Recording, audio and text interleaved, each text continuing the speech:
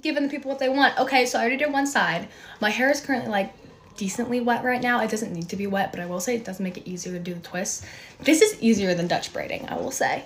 Okay, so I'm gonna brush it slightly going to the back of my head just because we're twisting away from my hair. And what you're gonna do is you're gonna take beginning, hmm, let me see, like right there, probably like this much. You're gonna split it in two. Don't need two, don't need three, you're gonna twist away, okay? Twisting away from my face. I'm gonna take a, a section, all right, just a little one, and then I'm gonna twist away again. Then you should have two strands. And I'm gonna take another little section. Kind of wanna see, I don't know if this is clear or not, and then I'm gonna twist away again. It's really easy, you just kind of keep doing that, and then you'll start to see little little twists for, forming. And then you just keep adding hair until you get all the way to the back of the head. So, whoop, I'm gonna do that real quick and then I'll show you how to do the like braid twist thing. Okay, once you get to this point, right, you want to be twisting this really tight because if you start to let go, the whole thing's just to fall apart. It's like super fragile, so it's super annoying. Anyway, put one of these in your mouth because it's easier.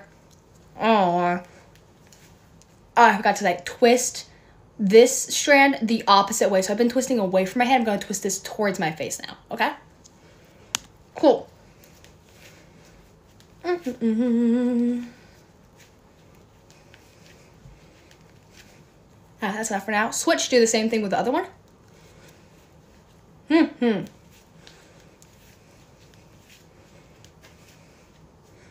You have to do this, otherwise if you twist the strands together just without doing it, they will completely fall apart. And now we're gonna take them and twist both the strands across each other, these opposite directions. So I'm gonna continue um, to twist this towards my face while twisting them away. And I'm just gonna keep doing this. I kind of, you kind of get in a habit. You just have to kind of start.